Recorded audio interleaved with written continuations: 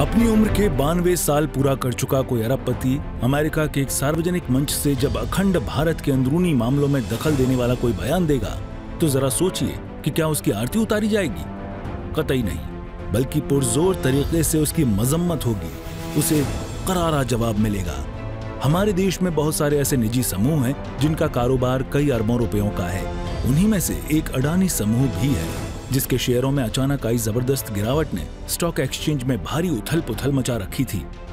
व्यापार और व्यवसाय में उतार चढ़ाव लाजमी है, ऐसा माना जाता है, लेकिन देश के अंदरूनी मामले में किसी भी विदेशी व्यक्ति को बयान देने का कोई अधिकार नहीं है, और उल जलूल बयान देकर जॉर्ज सोरोस ने भी यही गलती कर दी।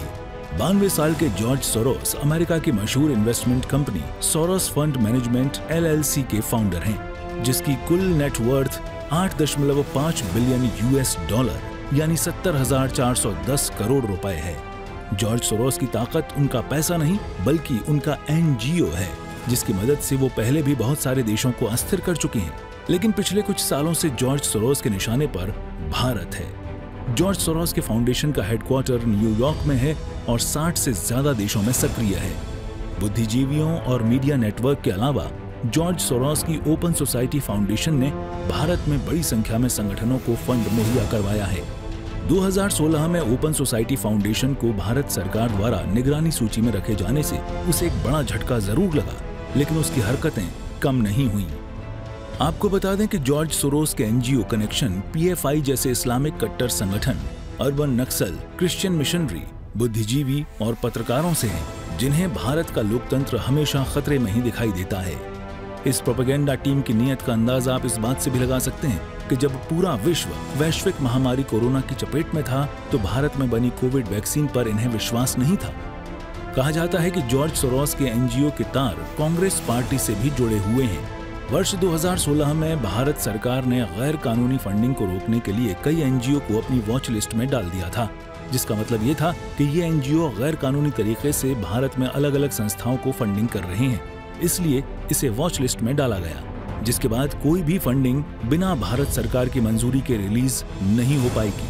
जिस एनजीओ को जॉर्ज सोरोस की संस्था फंडिंग करती थी, इस पर विराम लगने के बाद सोरोस की टीम ने कई और तरह के हथकंडे अपनाने शुरू कर दिए।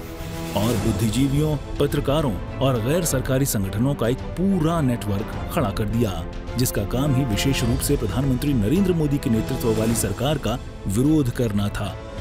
आपको बता दें कि अपने भारत विरोधी एजेंडे को आगे बढ़ाने के लिए जॉर्ज सोरोस ने अपने ओपन सोसाइटी फाउंडेशन के ज़रिए 1999 में भारतीय संस्थानों में अध्ययन और अनुसंधान को आगे बढ़ाने के लिए छात्रवृत्ति और फेलोशिप की पेशकश करके भारत में अपने पाँव पसारना शुरू किया था। जिसके बाद परोपकारी गतिविधियों को चलाने के नाम पर सोरोस के नेतृत्व में वामपंथी अंतर्राष्ट्रीय संगठन ने भारत के भीतर सक्रिय भारत विरोधी तत्वों को समर्थन देकर देश भर में अपना जाल फैलाना शुरू कर दिया। लेकिन पिछले कुछ दशकों में जॉर्ज सोरोस ने समय समय पर भारत में सरकार के खिलाफ प्रोपेगेंडा फैलाने का काम किया the man who broke the bank of England a man who is known and designated so by a nation as an economic war criminal has now pronounced his desire to break the Indian democracy. As you all know, George Soros, an international entrepreneur who hedges bets against many countries, has now declared his ill intentions to intervene in the democratic processes of India. अब ऐसे संगठनों और परिस्थितियों से कैसे निपटा जाए, ये देश की मोदी सरकार बखूबी जानती है।